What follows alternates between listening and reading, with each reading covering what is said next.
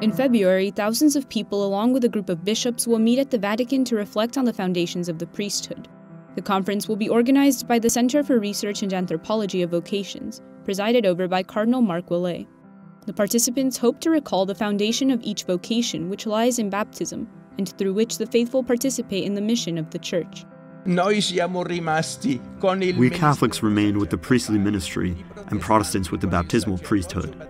It was necessary to reconcile these perspectives, to integrate them. The Second Vatican Council did just that, but this idea has not yet entered into the life and pastoral care of the Church.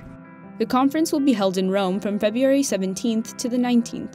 It is titled Toward a Fundamental Theology of the Priesthood and will be concluded by the Pope. The conference will address questions such as the relationship of the priesthood with other vocations in the Church and why priests are asked to be celibate.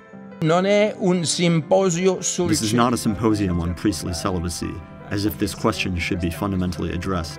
It is a broader perspective, starting with baptism. To show future priests the reason that justify the request for celibacy and this life commitment, and to propose to them, consequently and coherently, the most appropriate ways to live this gift with fidelity. Today, in many parts of the world, bishops and priests are seeking to identify what changes are needed for a priest to truly be a sentinel of the kingdom of God, a man called by God to sanctify the world through the gift of the sacraments of the kingdom. The conference also has a dedicated website on which content will be published to prepare for the meetings. Organizers hope that by returning to a theology of the priesthood, a missionary drive will once again be taken up throughout the church. It seems to be an event that will benefit not only priests, but all believers.